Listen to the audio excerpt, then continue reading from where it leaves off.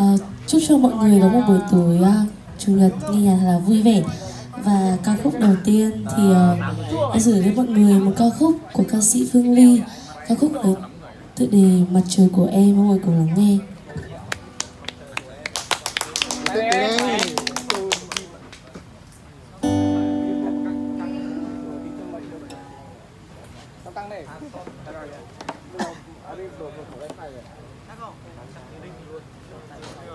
tăng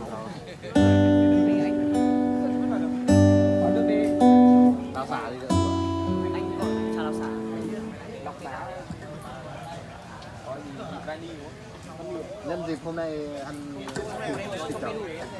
Vâng nhân dịp hôm nay ăn một thịt chó cái đầu mình đào Chó, ăn đồ thịt chó thì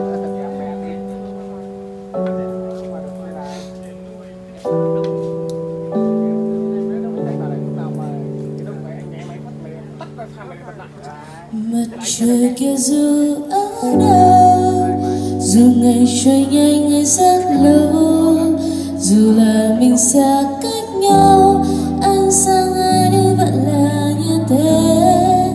Vậy mà sau khi không có anh Đợi đến nào em đi vẫn vắng tay. Thời gian ơi xin hãy